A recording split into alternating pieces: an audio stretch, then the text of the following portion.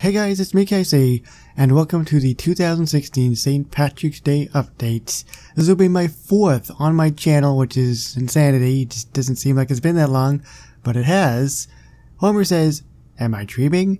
St. Patrick's Day and Easter at the same time? How do I decide between two of the most delicious days of the year? It'll be a Sophie's choice between green beer and green Easter eggs. I've been hospitalized after eating green eggs, so... Eight green beers, Tommy. Make Homer drink at O'Flanagan's. Now, if you don't have this particular drunken pub with the O'Flanagan character, I can't remember what it costs. It's not that much money. It's basically free. There he goes. So I have looked it up a little bit. After you finish this quest and then you finish part number two, you will get the Shredded Ned costume skin, which is awesome. I won't be able to show it to you in this video because I mean it's going to be about 8 hours to do so. Take my word for it though, it'll be there soon enough when you get it. So there's that. We've also got 6 items in the corner as well as, like usual, a whole bunch of returning items. But Keep in mind, guys, that I have a lot of this stuff already from the years past, so not everything is going to show up. Your game will more than likely be different than mine, but we've got St. Patrick's 2016. Who's that? He looks different. Northern Irish Leprechaun. Pride of Ulster. That's pretty cool, actually.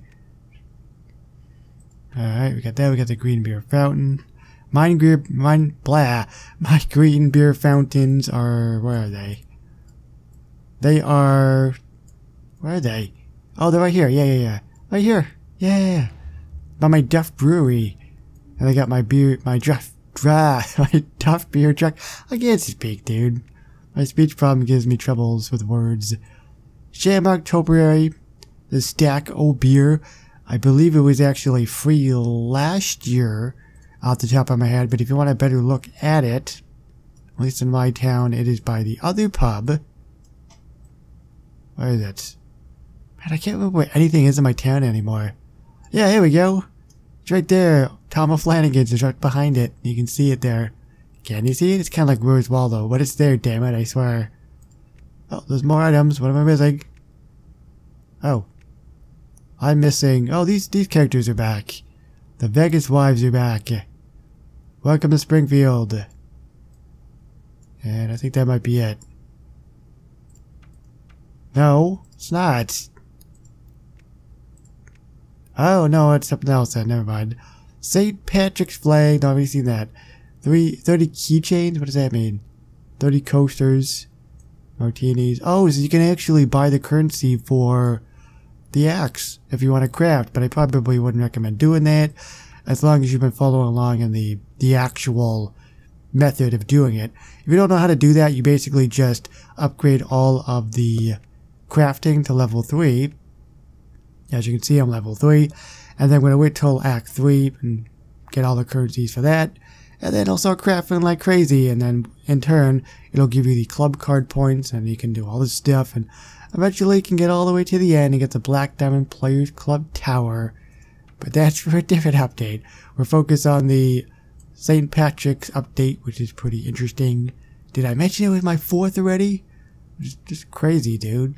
Absolutely crazy. So, there's also, oh yeah, there's also a Gil deal that's supposed to pop up as well.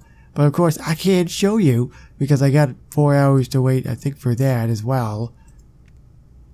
Yeah, I do. So I don't want to speed it up or anything. Take my word for it, guys.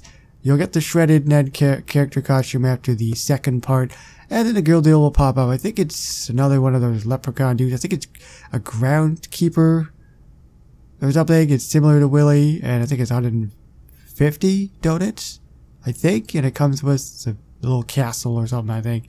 I don't know, I'm not really much help, am I? I'm just kind of going from what I saw earlier on in the day. But that's all the stuff we've got.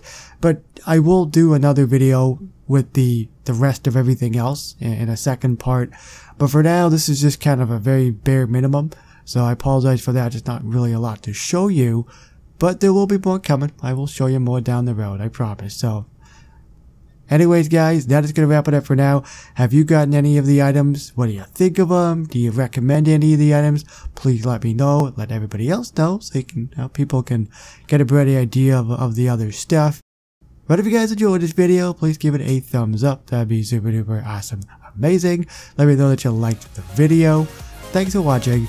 My name is KC, and I will see you on more of the St. Patrick's Day update in the future. Bye bye, guys.